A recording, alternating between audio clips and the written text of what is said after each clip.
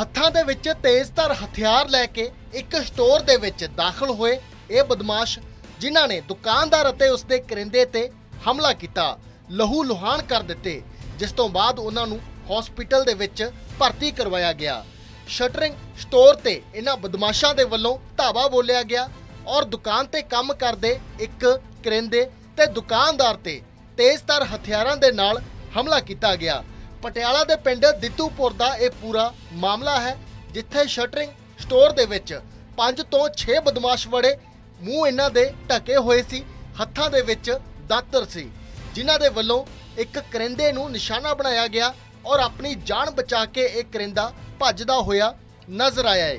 ਗੰਭੀਰ ਰੂਪ ਦੇ ਵਿੱਚ ਜ਼ਖਮੀ ਹੋਇਆ, ਜਿਸ ਨੂੰ ਰਾਜਿੰਦਰਾ ਹਸਪੀਟਲ ਦੇ ਵਿੱਚ ਭਰਤੀ ਕਰਵਾਇਆ ਗਿਆ, ਤਾਂ ਸ਼ਟਰਿੰਗ ਸਟੋਰ ਦੇ ਵਿੱਚ ਅਣਪਛਾਤੇ ਵੜੇ ਨੇ, ਤੇਜ਼ਧਾਰ ਹਥਿਆਰ ਇਹਨਾਂ ਦੇ ਕੋਲ ਨੇ, ਜਿਨ੍ਹਾਂ ਦੇ ਵੱਲੋਂ ਸਟੋਰ ਦੀ ਵੀ ਭੰਨਤੋੜ ਕੀਤੀ ਗਈ। ਦੁਕਾਨਦਾਰ ਤੇ ਉਸਦੇ ਸਾਥੀ ਤੇ ਤੇਜ਼ਧਾਰ ਹਥਿਆਰਾਂ ਦੇ ਨਾਲ ਹਮਲਾ ਕੀਤਾ ਗਿਆ।